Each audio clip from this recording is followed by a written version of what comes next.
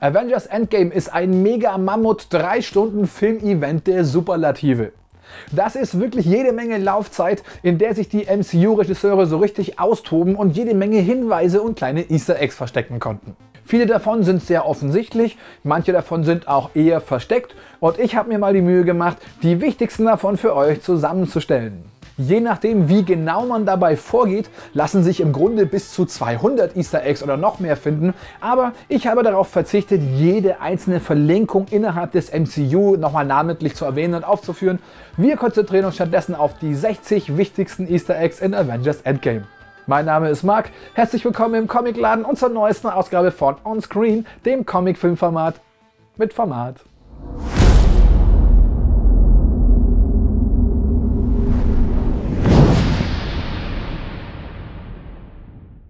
Das erste Marvel Easter Egg versteckt sich direkt in der allerersten Szene des Films. Wir sehen Hawkeye, der seine Tochter trainiert und sie dabei ebenfalls Hawkeye nennt. Das ist ein versteckter Hinweis auf Kate Bishop, die in den Comics die Rolle der weiblichen Hawkeye übernimmt, oft Seite an Seite mit dem originalen Hawkeye kämpft und eigentlich in der Community relativ beliebt ist. Ob sie nun im MCU jemals vorkommen wird oder nicht, die Bereitschaft von Clint Barton, seinen Superheldennamen zu teilen, ist auf jeden Fall gegeben. Wie bei Marvel-Filmen üblich, bekommen wir am Anfang immer erstmal eine kleine Abfolge der wichtigsten Figuren im Marvel Cinematic Universe als Teil des Logos. Bei Avengers Endgame bekommen wir dieses Mal aber nur die Charaktere zu sehen, die nicht im Infinity War zu Staub zerfallen sind. Zu Beginn von Avengers Endgame ist Tony Stark im Weltall gestrandet und laut seiner Audioaufzeichnungen seit 22 Tagen. Diese Zahl ist kein Zufall, denn Avengers Endgame ist der 22. Film des Marvel Cinematic Universe. Nach seiner Rückkehr auf der Erde erwähnt Tony Stark seine Suit of Armor Around the World. Das ist eine Anspielung auf sein ursprüngliches Ultron-Projekt, das zukünftig Gefahren aus dem All verhindern sollte und ist somit die erste ziemlich massive Anspielung auf Avengers Age of Ultron. Ein weiteres Easter Egg aus Age of Ultron, sogar ein ziemlich wichtiges, ist Tonys Vision, die er nach der Manipulation durch die Scarlet Witch hatte. Die wird nämlich in Avengers Endgame teilweise wahr, was sich uns aber erst zum Ende erschließt. Und dann sehen wir nämlich die Szenen, die Tony auch in seiner Vision gesehen hat. Zum Beispiel den zerschlagenen Schild von Captain America, Black Widow, die auf dem Rücken liegt und, ah ja, ziemlich tot aussieht und Thor, der in Endgame in derselben Pose auf dem Boden liegt, wie es auch in Tony Starks Vision tat. Tony Stark nennt Nebula in der englischen Sprachversion Blue Mini. Das ist eine Anspielung auf den Yellow Submarine Zeichentrickfilm der Beatles. Außerdem nennt Tony Stark den Rocket Raccoon Build a Bear. Das ist ein in den Vereinigten Staaten extrem beliebtes Kinderspielzeug. Nicht lange nach Beginn des Films besuchen oder naja eher überfallen die Avengers Thanos auf seinem Planeten The Garden. Eines der berühmtesten Bilder dort, das wir auch schon in den Trailern zu sehen bekommen haben, ist die Vogelscheuche, die aus den Teilen seiner Rüstung besteht. Das ist sogar ein mehrfacher Hinweis auf die originale Comicvorlage. Denn auch dort wird Thanos in der Tat zum friedlichen Farmer, nachdem er seinen berühmten Snap getätigt hatte. Dort allerdings bereut er seine Tat und wird später sogar ein würdiges Mitglied der Infinity Watch. Das ist im Film natürlich anders gelaufen. Ebenfalls ein Hinweis auf die Comics ist natürlich der Name des Planeten namens The Garden. So heißt der Planet auch in den Comics. Die Selbsthilfegruppe direkt nach dem fünfjährigen Zeitsprung in Avengers Endgame enthält gleich zwei ziemlich massive Easter Eggs. Das erste davon ist Joe Russo, den wir hier über sein erstes homosexuelles Stage sprechen hören. Joe Russo ist eine Hälfte des Brüderpaares Joe und Anthony Russo und somit einer der beiden Regisseure von Avengers Endgame. Außerdem stellt seine Schilderung die erste offizielle Darstellung eines homosexuellen Charakters in Avengers Endgame dar. Ebenfalls in der Selbsthilfegruppe von Captain America und Joe Russo ist dieser Mann hier und das ist Jim Starlin. Jim Starlin ist der Comicautor, der unter anderem Thanos und viele der Guardians of the Galaxy Mitglieder erfunden hat. Ebenfalls mehr als ein Easter Egg gibt die Szene rund um Ant-Man und den Quantentunnel in seinem Van her. Das erste quasi Easter Egg ist die Ratte, die in Scotts Van über die Tasten läuft und dabei zufällig die richtige Reihenfolge aktiviert, so dass der Quantentunnel wieder zum Leben erwacht und Scott Lang aka Ant-Man wieder in die Realität zurückholt. Ich meine, wie hoch war die Wahrscheinlichkeit, dass das passiert? Das zweite, wirklich echte Easter Egg ist aber die Nummerierung des Lagerraums mit 616. Das ist kein Zufall, sondern eine Anspielung auf die offizielle Marvel-Realität in den Comics, die sich rund um Erde 616 abspielt. Ein sehr offensichtliches Easter Egg ist die Kleidung vom Rocket Raccoon nach dem fünfjährigen Zeitsprung im Film. Die sieht nämlich exakt so aus wie das Outfit vom Rocket Raccoon in den Comics. Und die Comics aus genau dieser Zeit waren die größte Inspiration für Regisseur James Gunn, anhand derer er seine Version der Guardians of the Galaxy gestaltete. Ebenfalls witzige Easter Eggs stellen die Cameos von Ken Jeong und Yvette Nicole Brown dar. Beide Schauspieler sind aus der US-Comedy-Serie Community sehr bekannt. Auch Daniel Glover, oft auch als Childish Gambino bekannt, hatte bereits einen Auftritt in Spider-Man Homecoming. Somit haben wir hier Auftritt 2 und 3. Außerdem liest Ken Jeong das Buch The Terminal Beach vom Autoren J.G. Ballard. Der ist ein Science-Fiction-Autor und das Buch handelt von einer postapokalyptischen Dystopie.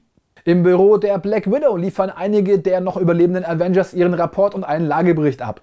Dabei schwenkt die Kamera kurz auf den Schreibtisch der Black Widow, wo wir Ballettschuhe sehen. Das ist natürlich ein Easter Egg und ein eindeutiger Hinweis auf ihre Vergangenheit als Ballerina, als Teil ihrer Ausbildung als Assassinin im Red Room. Es gab ja einige Fans, die sich gefragt haben, warum Carol Danvers aka Captain Marvel plötzlich kurze Haare hat. Das ist, wie könnte es anders sein, eine Anspielung auf die Comics. Dort ist diese Kurzhaarfrisur nämlich schon seit einiger Zeit praktisches Trademark von Captain Marvel. Dass sie ausgerechnet War Machine von allen anderen anwesenden Avengers darum bittet, auf sich aufzupassen, könnte ebenfalls ein Easter Egg und eine Anspielung auf die Comics sein. Es könnte nämlich sein, dass dieser Spruch schon vorwegnimmt, dass die beiden eine Romanze entwickeln werden. Das ist in den Comics nämlich ebenfalls der Fall. Ein sehr großes und offensichtliches Easter Egg, im Grunde sogar mehr als ein Easter Egg, ist natürlich Professor Hulk. Er wird zwar in Avengers Endgame nie als solcher betitelt, aber unübersehbar ist das eine Anspielung auf die in den Comics ebenfalls existierende Figur des Professor Hulk, der auch dort die Stärke des Hulk mit der Intelligenz von Bruce Banner vereint, klappt allerdings nur für eine Zeit lang. Die Tochter von Iron Man und Pepper Potts, nämlich Morgan Stark, ist ebenfalls ein Easter Egg auf die Comics. Dort gab es ebenfalls einen ziemlich dubiosen Charakter namens Morgan Stark, der war in der Version auch nicht weiblich, ist aber wieder mal ein klares Kopfnicken in Richtung der Comic Freaks. Scott Lang aka Ant-Man möchte seine Zeitreiseversuche gerne Operation Time Haste nennen. Das macht durchaus Sinn und ist eine Anspielung auf eine Doctor Who-Folge mit dem gleichen Namen. Auch der beliebte und abgefahrene Zeitreisefilm Zurück in die Zukunft wird klar referenziert, was als Easter Egg zu werten ist. Natürlich werden auch andere Filme referenziert wie Terminator, Hot Top Time Machine oder Time Cop.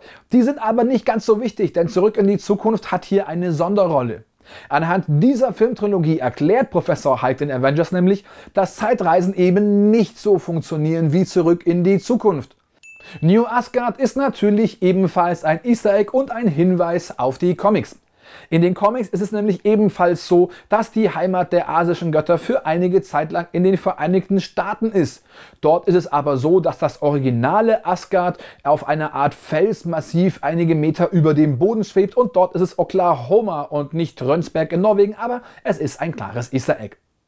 In Neu-Asgard ist es auch, dass wir das erste Mal auf den ja ein bisschen aus dem lang gegangenen Tor treffen. Bei ihm sind seine Buddies Korg und auch der totgeglaubte Meek, der sich wohl neu verpuppt hat und quasi wieder am Start ist. Das ist natürlich ein Doppel-Easter Egg. Zum einen ist es nämlich eine Anspielung auf Tor 3, Tag der Entscheidung, und andererseits eine Anspielung auf den World War Hulk, wo Korg und Meek zu seinem Warband, also seiner Kampfgruppe gehörten. Korg selbst ist übrigens ebenfalls ein Easter Egg. Korg wird nämlich in Avengers Endgame von Tika Waititi gespielt und das geht so weit, dass er sogar das gleiche Hemd trägt, das der Regisseur oft auf Fotos trägt. Auch der Ort, an dem sich Neu-Asgard jetzt befindet, ist ein Easter Egg. Und zwar soll es Trönsberg in Norwegen sein. Das ist der Ort, an dem der Red Skull in Captain America den Tesseract gefunden hat. Und es ist der Ort, an dem Thor und Loki das letzte Mal ihren Vater Odin gesehen hatte und der ihnen sagte, dass genau hier sehr wohl Asgard sein könnte. Wir bleiben nochmal in New Asgard. Dort sehen wir nämlich eine ziemlich starke Popkulturreferenz, die natürlich ebenfalls als Easter Egg zu werten ist. Und zwar spielen Thor, Korg und Meek den beliebten Battle Royale Shooter Fortnite. Ein kleines Easter Egg versteckt sich noch in dem Hinweis auf Mantis, auch wenn Rocket Raccoon nicht weiß, wie ihr Name ist und sie nur The Chick with the Antenna nennt. Dass Iron Man den etwas aus der Form geratenen Thor Lebowski nennt, ist ebenfalls ein Easter Egg und ein Hinweis auf den Kultfilm The Big Lebowski. Außerdem nennt Tony Stark Thor auch einmal Yellow Bastard und das ist eine Anspielung auf den Charakter aus Sin City. Der ist ebenfalls nicht mehr so dolle gebaut und hat vor allem einen ziemlich großen Bauch. Ein weiteres Easter Egg, das man ganz schön leicht übersehen kann, ist das Eis, das Professor Hulk in einer Szene ist. Das ist nämlich Hunker Hulker Burning Fudge, ein beliebtes Eis, das auch schon von Wong in Infinity War gegessen wurde. Wenn es um lustige Spitznamen geht, macht Iron Man ohne Probleme Sawyer aus Lost Konkurrenz. Er nennt zum Beispiel Ant-Man Thumbelina im Englischen, also Däumelinchen im Deutschen und das ist ein bekanntes Märchen. Wer es noch nicht kennt, der sollte es mal lesen. Wir sind aber noch nicht am Ende mit den lustigen Spitznamen, denn auch Stuart Little fällt als kleiner Starkscher Kosename für Ant-Man. Und das ist natürlich ein Hinweis auf den gleichnamigen Film. Ein weiteres direkt aus den Comics stammendes Easter Egg ist die Figur des Ronin. Hawkeye wird zwar in Endgame nie offiziell so genannt, das Outfit ist aber praktisch eins zu eins aus den Comics übernommen. Hatten wir eigentlich schon den Fall, dass Tony Stark lustige Namen vergibt, die Popkulturreferenzen darstellen und daher Easter Eggs sind? Hä, sei es drum. Auf jeden Fall nennt der Rocket Raccoon an der Stelle auch Ratchet. Und das ist natürlich eine Anspielung auf das Computerspiel Ratchet und Clank. Außerdem benutzt Tony offensichtlich Axe-Körperspray. Das wird nämlich von Ant-Man festgestellt, der an ihm schnüffelt und dann klar feststellen kann, dass es sich um Axe handelt. Ich könnte das nicht, ich rieche aber auch nicht so oft an fremden Männern. Eine Stelle, an der im Kino ziemlich viel gelacht wurde, war die Fahrstuhlszene aus Avengers Endgame. Hier dachte man zunächst daran, dass der berühmte Fahrstuhlkampf aus Captain America Winter Soldier nochmal wiederholt wird, aber dem war nicht so. Stattdessen überlistete Captain America die Hydra Schuppen, indem er einfach nur sagte Hail Hydra. Das ist ein Easter Egg und eine Anlehnung an das Comic-Event Secret Empire, das absolut schockierend war, weil sich dort herausstellte, dass Captain America im Geheimen schon immer ein Agent für Hydra war.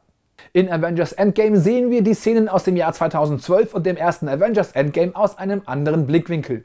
Unter anderem sehen wir die Übergabe des Tesseracts an Alexander Pierce, der von Robert Redford gespielt wurde.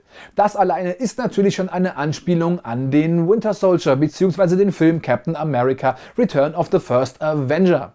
Das wahre Easter Egg ist allerdings hier die Frage an Thor, wohin sie wollten, der in der englischen Version sagt Lunch, then back to Asgard. Die Anspielung auf den Lunch ist wiederum ein Easter Egg auf das Ende von Avengers, in dem Tony Stark vorschlägt, mal Shawarma essen zu gehen. Diese Post-Credit-Scene aus Avengers wurde übrigens von Robert Downey Jr. improvisiert. Ein ziemlich cooles Easter Egg also. Natürlich ist ein riesen Easter Egg der Cameo von Stan Lee. Ich denke, es ist nicht so viel gesagt, wenn ich sage, wir alle haben uns über diesen letzten Cameo von Stan Lee sehr gefreut und wir alle sind sehr dankbar für all die tollen Stories und Geschichten und Charaktere, die Stan Lee uns hinterlassen hat. Ruhe in Frieden, Stan Lee. Als Steve Rogers und Tony Stark zurück nach 1970 reisen, reisen sie ins Camp Lehigh. Das ist eine Anspielung auf den ersten Captain America Film. Es ist nämlich der Name des Camps, in dem er selber trainiert und ausgebildet wurde. Außerdem ist es eine Anspielung auf Captain America 2, denn es handelt sich dabei um den gleichen Bunker, in dem Ned und Cap zunächst festgehalten wurden und der später zerstört wurde. In Camp Lehigh können wir außerdem einmal einen Blick auf den ersten Ant-Man-Helm von Hank Pym werfen. Der stammt eins zu eins aus den Comics und ist somit wieder eine weitere Comic-Referenz. Eine weitere Referenz sowohl an die Comics als auch auf die Vergangenheit des MCU ist der Satz von Howard Stark, als er äußerte, er sei unterwegs, um sich mit Arnim Sola zu treffen und mit ihm etwas zu besprechen. Zu diesem Zeitpunkt gehört Arnim Sola bereits zu Hydra, die bereits Shield unterwandern. Ein klares Easter Egg also an Film und Comics. Der Anzug, den Steve Rogers 1970 während seiner Zeitreise in Camp Lehigh trägt, ist ebenfalls ein Easter Egg. Der Name auf dem Etikett lautet nämlich Roscoe und das ist eine Anspielung auf die Comics und den Charakter Roscoe Simmons. Zu der Zeit nämlich, als Captain America nicht Captain America, sondern Nomad war, war es so, dass einige andere Charaktere in die Rolle des Captain America schlüpften. Einer davon war Roscoe Simmons, nur lief das nicht gut für ihn. Er wurde nämlich vom Red Skull entführt, gefoltert und umgebracht, weil dieser damit die Aufmerksamkeit von Captain America auf sich ziehen wollte. Das hat auch funktioniert, leider aber zu spät für Roscoe Simmons. Ein weiteres ziemlich wichtiges Easter Egg mit möglicher Signalwirkung für die Zukunft ist der Auftritt des Fahrers und Butlers Jarvis. Der ist nicht nur die Inspiration für die künstliche Intelligenz von Tony Stark, aus der später einmal The Vision werden wird, sondern es handelt sich auch um den ersten Auftritt einer Figur aus dem Marvel-Serienuniversum auf der großen Leinwand. Bei dem Abschnitt des Time Hastes, in dem sich Rocket Raccoon und Thor zurück in die Zeit von Thor The Dark Kingdom begeben, klaut Rocket Raccoon den Äther. Asische Wachen verfolgen ihn dabei und rufen in der englischen Version Get the Rabbit, in der deutschen vermutlich Schnappt das Kaninchen. Das ist natürlich eine Anspielung auf den Infinity War, in dem Thor Rocket Raccoon lustigerweise immer ein Kaninchen nennt und es bedeutet, dass offenbar alle Asen Rocket Raccoon für ein Kanickel halten. Als Nebula vom Planeten Vormir erzählt, nennt sie den Planeten in der englischen Sprachversion einen Planeten in the center of celestial space. Das ist natürlich eine Anspielung an die Celestials, die wir bisher aus den Comics kennen, von denen wir aber auch wissen, dass sie im Marvel Cinematic Universe existieren oder existiert haben. Die Celestials haben außerdem in den Comics zumindest die Eternals erschaffen und die wiederum bekommen bald einen eigenen Film im Marvel Cinematic Universe. Als sich Clint Barton und Natascha Romanoff in der Benatar aufmachen und einen Hyperraumsprung wagen, kann sich Clint Barton einfach nicht der Magie des Moments entziehen und sagt begeistert zur Black Widow, It's a long way from Budapest. Das ist natürlich eine Anspielung auf den ersten Avengers-Film und auch auf Winter Soldier. Wir wissen halt immer noch nicht, was damals in Budapest passiert ist. Vielleicht erfahren wir es ja im Black Widow Solo-Film, aber Mensch, wir wollen es wirklich endlich wissen, ja? Nach dem ziemlich überraschenden, irgendwie ein bisschen unlogischen und verdammt gemeinen Angriff von Thanos auf die Avengers-Basis überleben die meisten, weil der mächtige Professor Hulk im Grunde das gesamte Erdreich über ihnen nach oben drückt. Die Szene, in der wir das zu sehen bekommen, ist eine klare Anspielung auf den Comic Secret Wars 4. Dort haben wir nämlich die gleiche Szene schon zu sehen bekommen. Zur großen Schlacht in Avengers Endgame ruft Steve Rogers zum ersten Mal den in den Comics berühmten Spruch Avengers Assemble, zu Deutsch Avengers sammeln. In den Comics ist das ehrlich gesagt ziemlicher Standard und wird eigentlich immer ausgerufen, sobald sich mehr als zwei, drei Avengers auf einem Fleck befinden. Das Marvel Cinematic Universe hat sich aber bisher einen richtigen Spaß daraus gemacht, es nie auszusprechen. Daher ein riesen Easter Egg und eine sehr willkommene Referenz für alle Comic-Fans.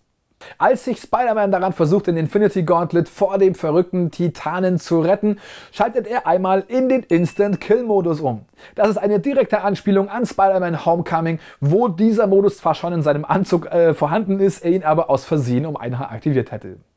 Als die Scarlet sich daran macht, den verrückten Titanen Thanos in aller Ruhe in seine Einzelteile zu zerlegen, befiehlt er seinen Schiffen mitten in die Menge zu feuern, im vollen Bewusstsein, dass er dabei auch seine eigene Armee bombardiert. Das ist ein gar nicht mal so verstecktes kleines Easter Egg, das uns an Edward the Longshanks aus Braveheart erinnern soll. Natürlich gibt es diese gigantische, fantastisch großartige Szene in Avengers Endgame, in der Captain America würdig ist, Thors Hammer zu tragen, somit auch die Kraft des Donnergotts bekommt und Thanos zunächst mal ordentlich einheizt. Und das ist eine Anspielung auf die Comics. Dort ist es schon dreimal geschehen, nämlich sowohl 1988 als auch im 2011er Event Fear Itself und nochmal 2017 während Secret Empire. Letzteres war besonders kontrovers, denn dort gehörte Cap bereits zu Hydra, war aber trotzdem noch immer würdig, den Hammer zu heben. Im finalen Kampf um den Handschuh und gegen Thanos Armee kommen die ganzen Superhelden zu Captain Americas Hilfe. Gott sei Dank. Dabei sehen wir unter anderem auch Pepper Potts in der Rescue Armor, ebenfalls ein direkter Hinweis auf die Comics, denn dort gab es die Rescue Armor ebenfalls. Allerdings war sie dort ein rein defensiver Anzug, der ausschließlich dazu dienen sollte, Pepper Potts zu beschützen. Ist aber trotzdem ein ganz netter Hinweis. Eine absolut großartige Frauenpower-Szene in Avengers Endgame ist es, als sich die ganzen Mädels den Handschuh immer weiter reichen, um ihm Thanos vorzuenthalten. Manche mochten die Szene nicht so gerne, mir persönlich hat sie aber gut gefallen, denn sie zeigt nicht nur, was für Powerfrauen im MCU so herrschen, sondern es ist auch eine ziemlich direkte Anspielung auf eine reine Frauen-Superheldengruppe in den Comics, nämlich A-Force. Ich bin mir relativ sicher, da es hier auch schon Gerüchte aus dem Marvel-Umfeld gab, dass wir hier nicht nur ein Easter Egg gesehen haben, sondern einen konkreten Hinweis auf die Zukunft des MCU. Auch die Szene, in der Tony Stark den Stark Gauntlet praktisch im Besitz hat mit allen Infinity Stones und wir ihn so richtig gut zu sehen bekommen, ist eine Anspielung auf die Comics. Dort hat Tony Stark nämlich ebenfalls einmal alle Steine zusammen und hat sich seinen Infinity Suit gebaut und zwar im Jahr 2011. Ihr seht also, die meisten der Easter Eggs sind oft auf die Comics zurückzuführen. Gerade für Comic-Freunde ist das aber dafür auch richtig toll. Einer der tragischsten Sätze, zumindest in diesem Zusammenhang in ganz Avengers Endgame, ist es wohl, als Tony Stark sagt, ich bin Iron Man. Das schließt den Kreis zum ersten Iron Man Film 2008 und ist somit ein klarer Hinweis und zugleich auch eine Hommage an den ersten Film, der das MCU losgetreten hat. Eine weitere Comic-Anspielung finden wir in der Figur des alten Steve Rogers. Das passiert in den Comics ebenfalls, auch wenn es dort ein bisschen anders abläuft. Dort wird Captain America nämlich unfreiwillig das Supersoldatenserum aus seinem Blutkreislauf entfernt und er ist dann somit rapide gealtert. Er ist aber immer noch super badass und wird dann zu Recht eine ganze Zeit lang der Anführer von SHIELD.